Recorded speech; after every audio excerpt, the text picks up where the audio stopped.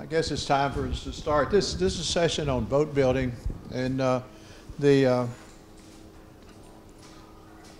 Mr. Keith Felder and Thomas Colvin here, uh, if you've seen their boats outside probably by now, the, uh, they speak for themselves. The, uh, my name's Pete Gregory, and I'm an anthropologist here at Northwestern.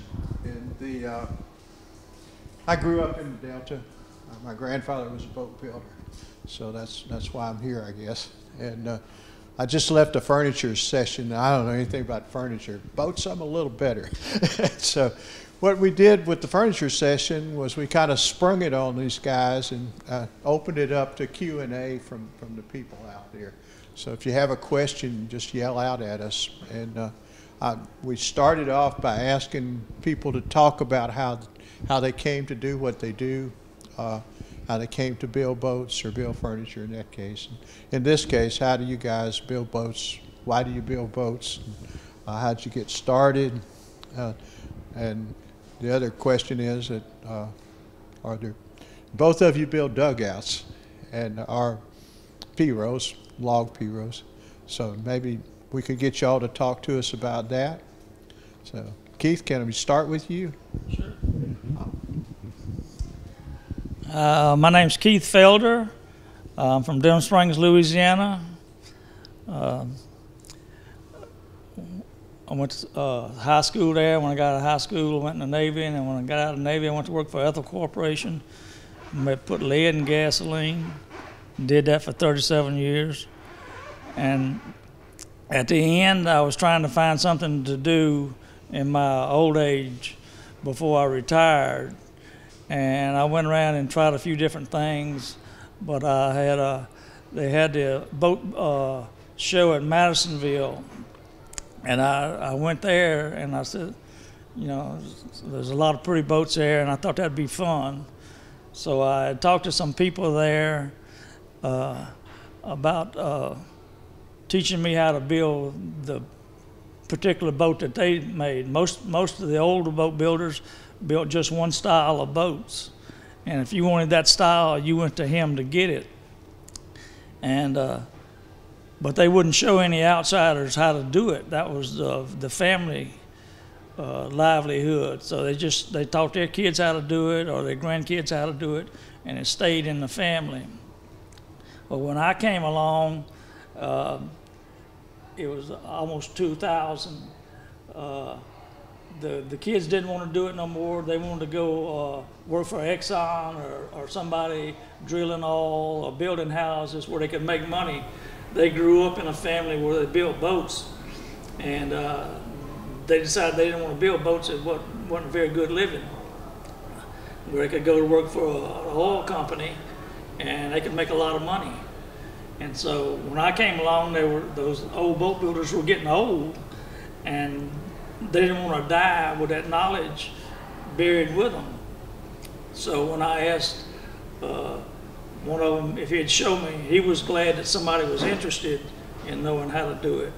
And so uh, he showed me how to build his style of boat. And I was still working then, so I would take a week's vacation and go go stay with him and learn how to build that type of pirogue. I didn't know there was more than one, one kind of pirogue, but there's different, a lot of different kinds. And so the next year I went and met another guy and I learned how to build his style. And so I did that. And then they had the, uh, at, at Thibodaux, at Nicholls State, they had a, a, wooden boat building class. I went down and, and took the class and, and you could make uh, uh, different kinds of boats, and I wanted to make a pirogue, and uh, and so I took that class and learned how they did it. And uh, so after I retired, uh, I started uh, making pirogues because I like to do it. And uh, but after a while, my shop was full pirogues, and I, I couldn't build any more. So then I started selling them. But along that line, I also went to the uh, boat building school in uh, in Maine, and, and, they they write the book on wooden boats, their publication anyway. And so uh, I took a class up there on how to build strip canoes, uh, because I figured one day they were gonna run out of wood down here. And so, uh, instead of, uh, making them out of uh, planks, I figured, you know, I'd have to learn how to make them out of strips to make the planks go further. But anyway, during that period, uh, the only thing you made boats out of then was uh, plywood, uh, because that's that's what everybody was making them out of back that time. But let me back up a step. My display out here shows you the progression of the Louisiana Pirogue, and I have a dugout that's made out of a half a log. And when Louisiana became a state in 1812, that was the uh, Pirogue. It was a dugout pirogue. And they made those up until about the 1930s. They started running out of wood. And so they started making planks. And they started building the pirogues out of planks. And they made those up until about 1947. In 1947, uh, they had gotten some marine plywood. They had it in New Orleans to build the Higgins boats. And so after the end of the war, it spilled over and the local fishermen, the boat builders, started getting the, the plywood, the marine plywood. And uh, so they, they made them out of marine plywood up until about 1960. In the 1960s, uh, about they started making them out of aluminum and fiberglass. And so it depends on, you can time them to see where they're at.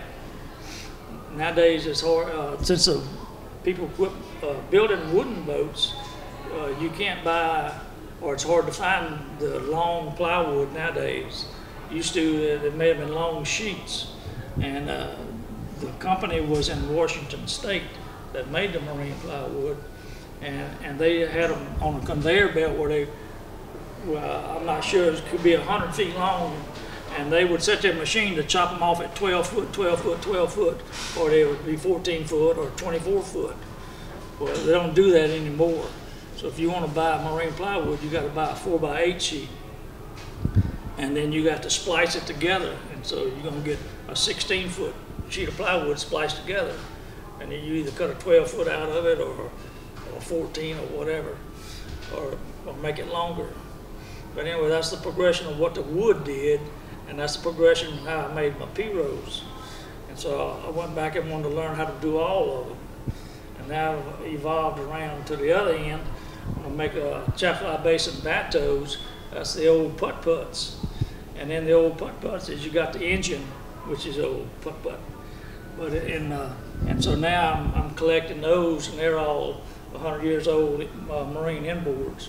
And so that, that's a, I, I probably got one of the best collections in the United States of those for the Lockwood-Ash.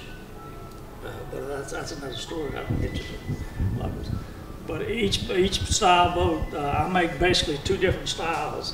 I make a, uh, a swamp pirogue, and then I make a, a marsh pirogue.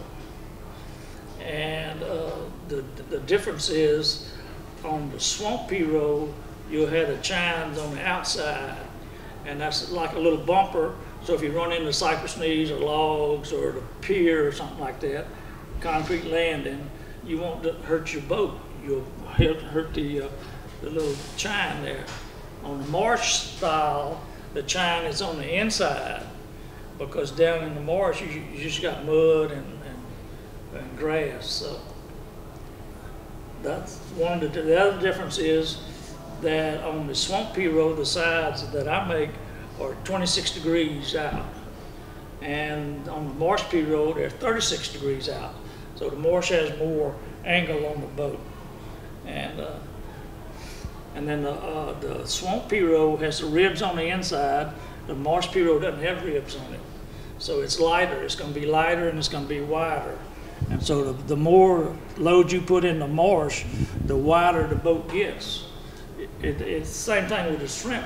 I mean, the uh, swamp pirogue, but it's not at, at the same angle. So it, it, the, the swamp pirogue will sit further in the water than the will Sit, marsh pirogue will sit more on the top. And then another difference is that the, uh, the swamp pirogue has more rocker in it, so it's curved up, so it'll turn to go through the trees and, uh, and it handles easier that way.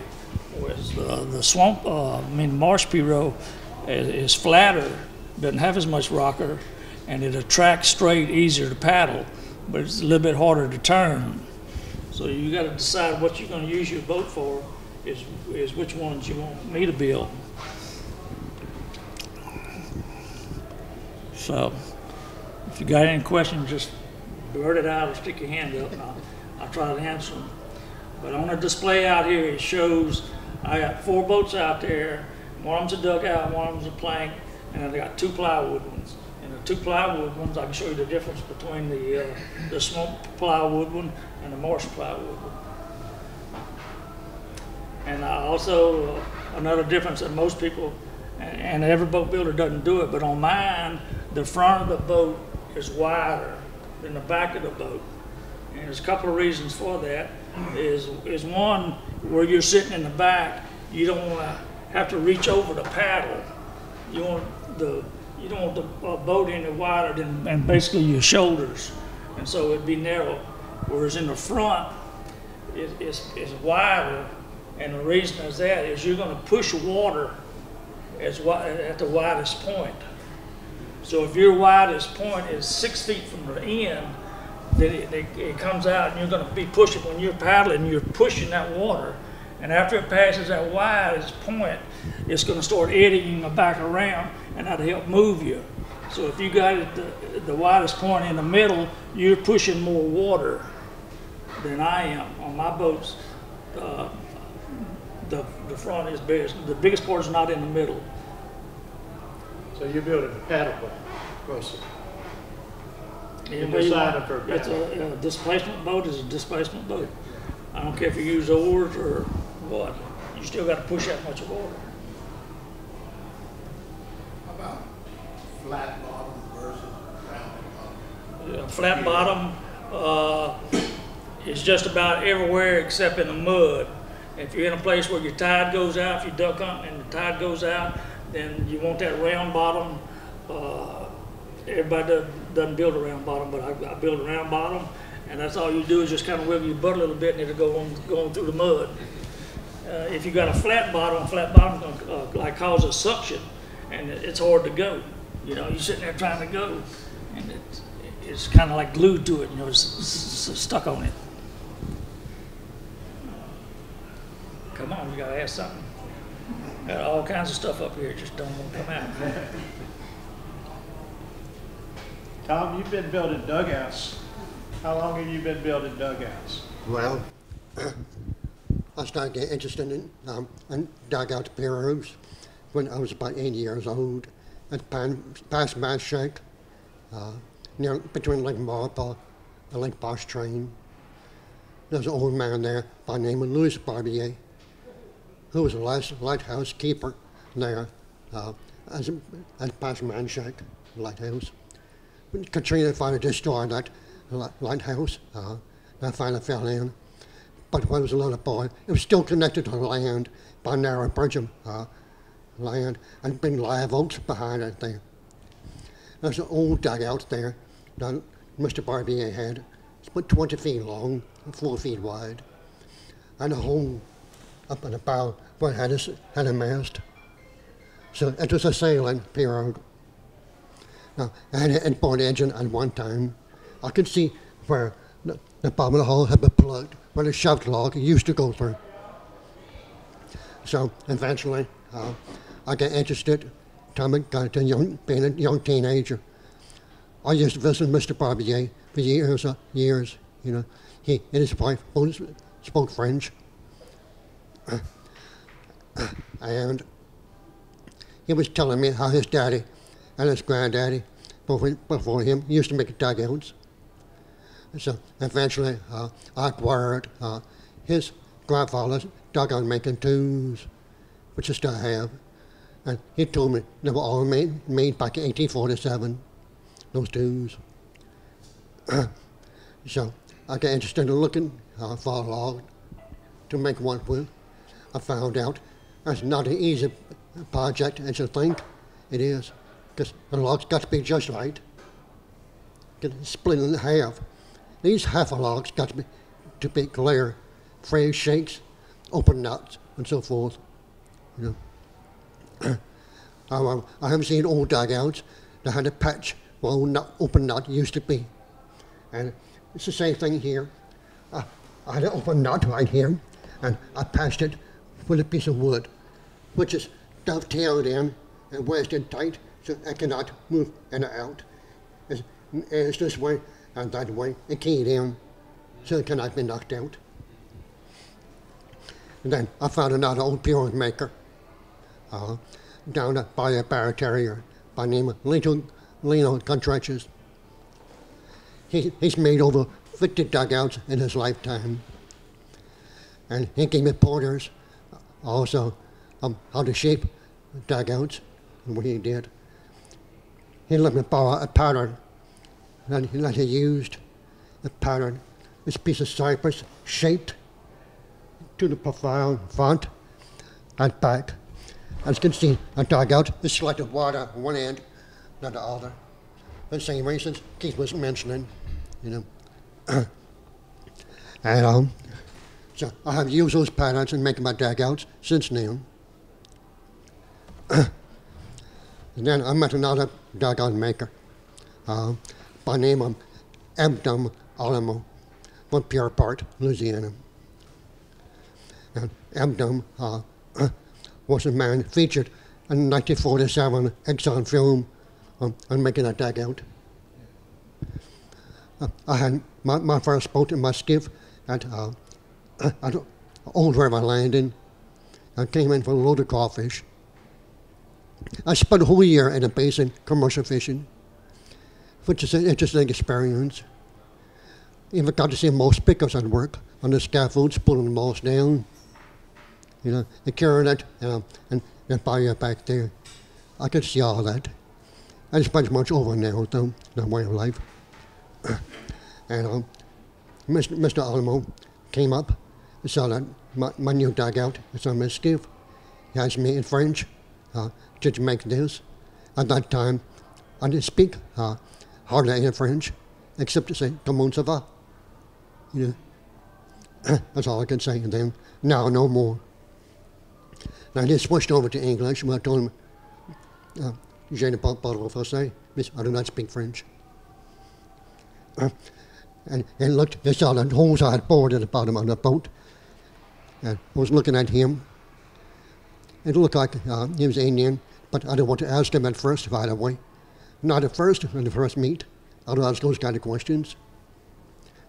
so he, he looked, looked at those plugs I had on there. He said, We don't do that. And, "Mm, No, not verifying. Okay, he's Indian. So he showed me how to measure the holes by using two sticks. The stick goes here, now the stick outside, inside gauge. And difference is how thick the bottom is. So take an axe, a foot axe, make a notch, notch, notch, two, two inches, two inches, two inches. Then split the wood out between the notches. And then I can work it down. Uh, to rough it out, like then make it light enough. You turn, turn it over uh, and, and do the outside. You have got to get the outside completely finished before you finish the inside, because you use your hands as a gauge to feel the thickness of the hull. So any bumps you feel and irregularities is be the inside. So I shave that out when when the hand plane, as you see on my table over there, where it's working on, the, on that paddle, working it down. So, so between uh, the Barbiers, uh, Lincoln Churches, and the Malamo, those three old-time boat builders, where the people I learned from uh, how to make dugouts. Now, back in 1962, I was swimming in Lake Train, looking for flounders along the water about neck deep between the grass beds and the stumps. And I came across what I thought was half of a cypress tree buried in the sand. I saw this, this, you know, and I saw the inside was burnt. Well, I swam along the sides, a lot of times flounders sit alongside next to logs. So looking for them. All of a sudden, oh, was a big square end. Whoa, that's not a log, it's a dugout. And a prehistoric Indian dugout at that. I swam to the other end, about 24, 25 feet down. not a square inch. Well, so I got my scuff over there, got my, my mold, blow the sand off the inside of it. You know, since I was used to moving the cypress logs, my skiff, you know, doing that. So I got my hands underneath uh, a boat, I tried to loosen it. My hands went for the bottom of the boat. The wood was so hot and and just like like wet bread. So if I known Hurricane Cam- Camille was coming, the ends were still good. I should have brought the ends home, but I didn't. Camille broke the whole thing up and it's gone. Police, I had the pleasure of finding a prehistoric boat uh, that way. Now, I have found four historic ones from the 1850s up to the 1920s in the same area, uh, and out in the marsh. But for the trappers, one pull the boats up to the landing, I'm tied to a stake, lay on pole, and leave a water logged. You keep in the water year round, keep keep swelled up tight, keep the water tight. Eventually, one people die off, one boat get burned in the mud. That's how I find them. Look in those places. The last one I found uh, is just, I'm sorry, was jammed between uh, two cypress trees on the side. And I could see it's a cypress board. And I'm always looking for pieces of cypress um, that, got broken up by, hurricanes, scattered in swamps. I could use those to make a boat ribs or seats and things like that, you know. And I pulled it out. I, realized just the bottom of the boat, all of the stuff's just the bottom and one end. The rest is completely gone. Ten years later, I found out who had that boat. And uh, his father uh, was a commercial fisherman. I showed it to uh, Peg and Labor too. Said, hey, that's my father's boat. He, said he lost in 1947 hurricane. So, you want it back? Said, nah, keep it. so I still have it.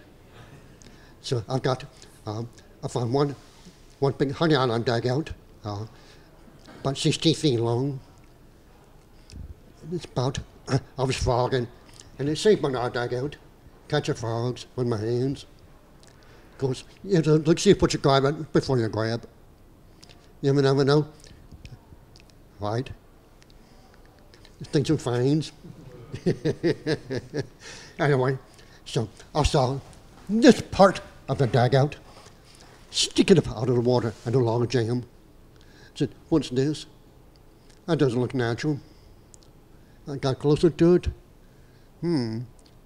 And my hands down underneath it, I felt this. Oh, yeah, oh, yeah. Got another one? So I flagged it and came back in the morning, got, got in the water, pulled all the trash off of it, got it up.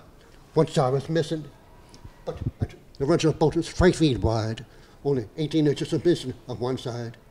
All I had to do was sit on the good side and tip the bottom out of the water. I back to the boat landing like that. And I bought the boat here a couple of times, and Mr. Pete has seen it. Yeah, yeah. So that's typical of the Honey Island boats, wide, no trim work, no end pieces, no, no, no keel here. It just comes out round like a wide spoon at both ends. Not just full paddle, r- fast river currents and the Pearl River system. There's nothing for the water can hold off. There's no keel there anything. So water just flows right around it. It's very easy to put against current in that boat. So those island dugouts were wide, three or four feet wide, from 16 feet to 18 feet long, and carrying livestock when the river flooded. So they would catch the hogs, uh, small cows, tie them, truss them, and put them in the dugouts, and put them to high ground, dump them out, go back out, rescue more the livestock off the islands in the swamp, keep them from drowning during, during the floods. So the old timers now went back about how many hogs they could haul in their dugouts, how many pigs they could get in there. Okay, I, I spent many a night fogging back in the marsh, They weren't just swamps. They weren't just used for fishing or duck hunting. Some of them are pretty large. Up here in North Louisiana, some of the dugouts are very large. Uh, and descriptions of them on the Mississippi River made out of cottonwood trees that are uh, 20, 30 feet long. And uh, I've seen old pictures of them at Catahoula Lake in central Louisiana where two people are sitting abreast in the dugouts. Uh, and you have to come back to what Keith and Tom are saying about that's half a tree. Uh, and uh, so you're looking at some really huge timber. And uh, what, Keith, you said in the 40s, the last ones you knew about, they were building? Yeah, they were running out of logs. Yeah. They started, uh, That's the same story we all grew up with. They quit building the dugouts, and they took North Louisiana boats took the same sequence that Keith gave you for the, for his pirogues, right down to the plywood, to the, and that changed. Uh, right now, it's hard to find a hand-built boat up here anywhere. Uh, Arkansas Travelers put the boat builders pretty much out of business, and uh, but they built basically the same same forms you guys see in aluminum or fiberglass now, little flat nose bateaus. Uh, and uh, the skiff forms with the points on them pretty rare up here. Uh, up the Mississippi River, there are a few, but on the inland rivers, uh, you mostly get bateaus, uh, which have got punt ends. They're flat on both ends. And the my grandfather built boats very much like Keith's talking about. They were, they were very narrow at the back end where you had to paddle them and wider in the front. It's a pretty common way to do it, I guess. And I never thought about it till you told me we, but the other thing was that the families, like you say, each family had their own style. Everyone's was a little different than everybody else's. And, uh, and we, normally we kept a set of forms and, and went down from the forms we had went down from my, my grandfather's to, to me. Uh, and so we, we cut our templates off of those, just made them out of wood. And use those same templates for, for the ribs and the bateaus. And cut them out. And those boats were built up until the 50s. And we substituted cypress board bottoms that uh, turned into, you know, three quarter inch marine plywood bottoms till the pieces got too short and you couldn't get the plywood. And uh, the uh, but we used cypress bottoms, uh, cypress board bottoms. Uh, when I was a kid, little kids, four and five years old, that was our job. We caulked the bottoms. They, they caulked them with oakum. They, you make a little chisel-looking thing, and they give a kid a little little hammer, and he he caulked the bottoms. And you recaulk the boats all the time. And uh, in the dugouts, you had to keep them wet. And Tom alluded to that. The, uh, we'd sink them and bring them in and sink them. Or you'd bring them in and fill them with moss and dump a couple of buckets of water in the moss to keep them wet. So they dry out to crack. And so you try to keep them in the water. The, uh, so they lasted a long time. They're very hard to find now. The Williamson Museum has three. Tom built one of them. Uh, we have one there that's 150 years old that went the life of the lifespan of the of the dugouts or the pirogues for that matter up here. They turn into a water trough for the cattle, and uh, that's generally the end of them. They take them out of the water, put them up, keep water in them for the cows and horses, and then they gradually break apart. The one I have turned into a flower box. Lady had petunias growing in it when we found it out in the front yard. It's got some big holes where it rotted out. I think if she hadn't farmed it, it would have still been there. But they'd patched it with tin, covered it with tar. They tried to keep that boat as long as they could. But it's built Indian style. It has no points on the ends. It's punt ended. It looks like almost like a bateau end. It's, it's just flat on both ends. Uh, there's a very large prehistoric one in the state exhibit building in Shreveport that's almost 35 feet long. Uh, big cypress log when it was burned and scraped out. Uh, radiocarbon date on it's about 1000 AD. It came out of the sediment here in Red River. And uh, it's probably the oldest boat in the state, uh, but it's, it's a Stone Age boat. And uh, it's a Caddo boat probably. It has a little hole in the front where there's a little fire, so they could build a little fire on the It's top of the one end I of found in like Bostring, Yeah. a hole in the front, and, the hole is quite, quite that big. Yeah, In the South America, South America, still do that.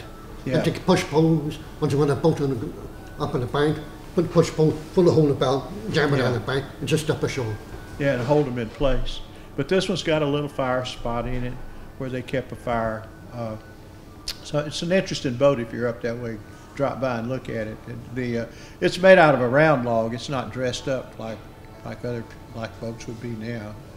So they picked that, and it's probably three quarters of the cypress log, and then they burn it down.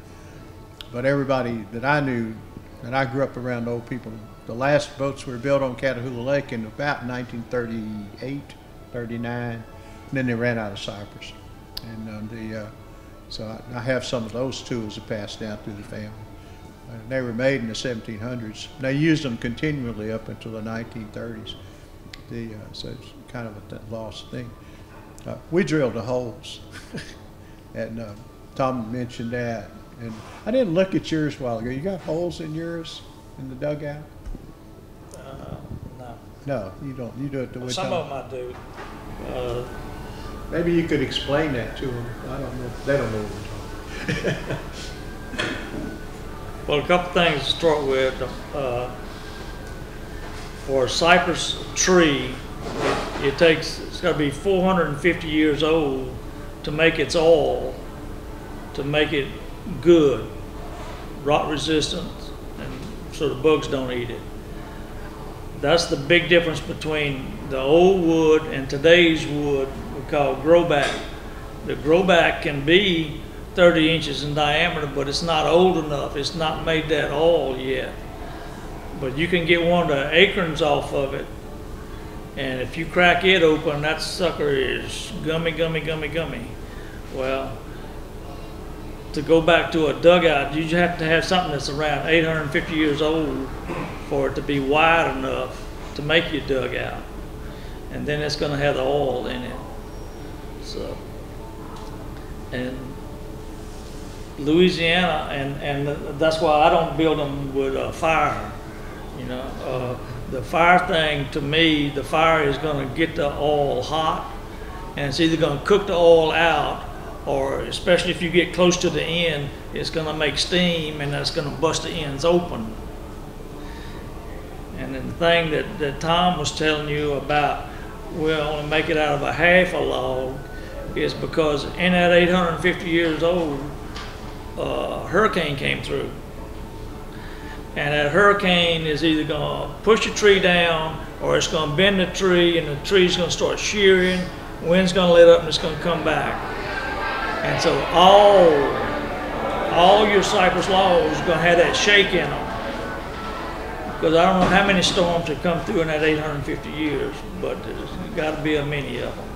And somewhere in there, when you look at the end of the cypress log, it's not going to be a line going straight across. It can be a line coming down uh, a foot or two feet and then going off in the other direction. And what we do is we'll turn that log until we can see that, that we can make a boat out of here. And so then we take that and then we cut it to get that piece out of there. And if the tree's big enough, you might be able to get three out of that part. And you never use the middle of the tree, because the middle of the tree is the bad part. And so if you can look at some of our scrapbooks out there and see where we got them cut in half, and you'll see that heart will pop out. Or you, uh, when the, a long time, or several hundred years ago, the Indians would use the whole thing. And, but it would pop out. They just go get another tree, you know. But in, in Louisiana, you could do that up until the, the middle of the 1800s. You know. And then what happened to Louisiana and Alabama and, and Georgia and everywhere else where they got swamps, that your New York cities burned down, your Chicago's burned down, and they kept using all their wood. They kept getting out further and further trying to get wood, and they ran out of wood. But they had all the money in the world, and so they came down to the south, and they went to Alabama or they come to Louisiana, wherever they could find a cypress swamp, and they had all these great big trees, you know, six feet in diameter, nine feet in diameter, and so they came down with the money. Uh, they brought crews down here. They brought saw sharpeners. They brought everybody they need down to Louisiana. And they would buy a tract of land. And it would take them about 30 years to cut all the trees down in that tract. And so those people were Yankees. But those people became, after 30 years, they were Louisianans then, or Alabamans, whatever. And so they became part of us. And so they came down in about the 1880s and they started chopping wood, chopping wood, chopping wood. And finally, in the 1930s, they done run out of wood. And so that's the end of this, the cypress logs. They clear cut everything. Uh, you can go back and look at old movies. Uh, the Williams uh, sawmill uh, was one of the largest sawmills in South Louisiana. And they were all rich people and they had movie cameras back then and they took movies of it. So if you ever go to Patterson, uh, Louisiana, you can go to the Williams uh, Museum there and you can see all these old saws, everything they used for logging. But the, the treasure that they have is that they got that that movie, that old movie there, and show people out there uh, cutting the logs down and all that stuff. And you kind of look off in the background, and there's not any trees there anymore. You know, because they would they would cut the little trees down too, but they would use them and they would pile them up, you know, yay deep, and they would put rail on them. That's for the rail cars to go out there to get the cypress and bring it back. Or if they were in a boat, they had the old mules. They would pull the logs out.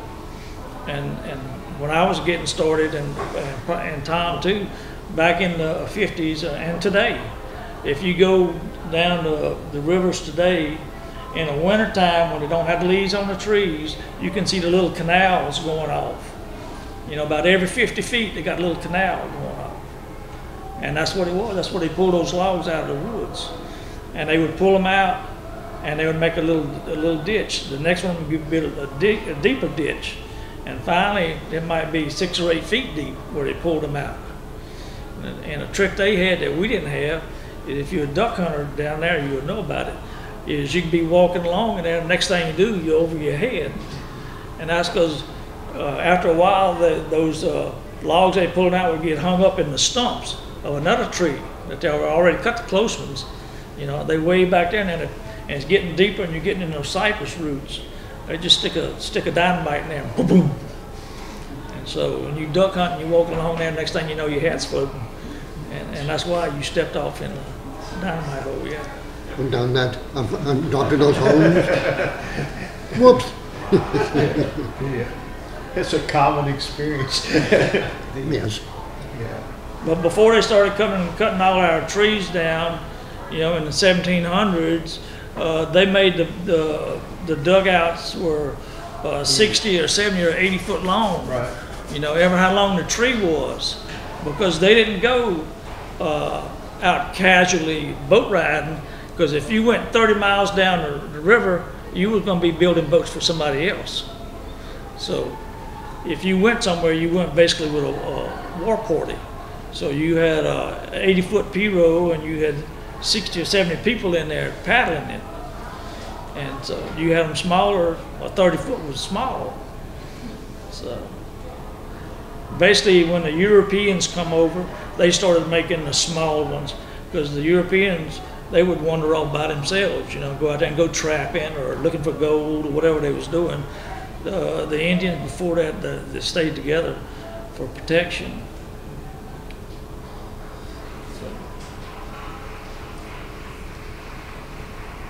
That's why you had they had uh, the pirogues then, or 30 foot or 80 foot. They were squared off, you know, because they didn't have, didn't want to spend the time to make them all fancy and all that kind of stuff. You know, they would be uh, six or eight foot wide, four feet deep, you know, and 80 foot long. They were big. Y'all have any questions? We got all kinds of stuff up here. You, yeah, you had talked earlier about the chine, the chines on the inside and the outside. I can see on the outside where they act as a bumper, as a guard for it. Is there any advantage structurally or whatever to having them on the inside? You've got the transverses for the sides. You, you need them. You need the, the chine so you can nail the bottom and the sides together. Okay, so you can't you can't butt. You can with a plank, but it's hard to hit that little quarter inch plywood. Uh, with an inch and a half nail. So you put that chine in there and you nail to the chine. And Ch- Chine, basically, excuse what a plank should have been, the side plank. You know, and uh, some of these pirogues over the years, I, I built plywood, and some plank like Keith has. and uh, I finally ended up just sticking with side by sides and plywood bottom on most, on several of my, my boats. If I took less work in building a boat, a solid side by sides, start going to extra labor, I'm putting the chine and plywood here, the plywood there, this and that. So I just went back to use the cypress and finally went all the way back to uh, like like where I started from back in back in the mid '60s. Uh, all cypress plank boats. How do you figure how much it haul, how much weight you can carry on it? But if you don't want to use trigonometry, then you, uh, you put something in there. Put a bunch of people you don't really mind. Yeah, You find all your happiest friends and you line them up in order. you go look on your scales to weigh uh, cotton and you have fifty pound uh, blocks. And you you can put, a five Some- some of can be heavy in the about water. Pounds of weight. And I was wondering if y'all had some kind of scale to figure out what, how much weight you could put in there to carry if you were going somewhere with all your camping equipment. It didn't sink the thing. well, when I was younger and had a full mind, I could, I could figure the, uh, a, a triangle and, and how much, uh, how much weight it would hold. And so you did the, the width times the length plus the depth, and then, then you took that and multiplied that your seven, uh, seven gallon, you figure out how many cubic inches it hold and how, many it was in a gallon, and then, uh, how much seven pounds was, you know. And so, uh, twenty years ago, I could do that in my head, but all I can do now is just try to remember who I am. Part of that, part of the way they did it was they figured that they knew how much they wanted to put in it when they built it, so that they built the width and the length. They had the width and the, the old people had the width and the length in their head. Was it any scale on how long you make them and how wide you make them? It varied, it varied on what they wanted to do with them. Like, he was talking about the inboard motorboats, they're basically just, just a, a flat putt-ended skiff, most of them. And the, the, the- they figured out where the motor was gonna go and the weight of the motor. And so it determined the length of the boat to some extent, you know. But bet you have to balance the back end and the front end to get the motor in. The, uh, and so it's, it kind of length and width, like you say, and the depth determines how much water it's gonna take. Well, everybody that, that built a boat wasn't a boat builder. I mean, you need, you need to remember that to start with. Do what now? Everybody that built a boat wasn't a boat builder. Well, I don't understand that. But, but one of, the- one of the things that in the modern day is, is they did was, uh, the, the size of the pirogue was determined by the plywood industry. The, the plywood was only four foot wide.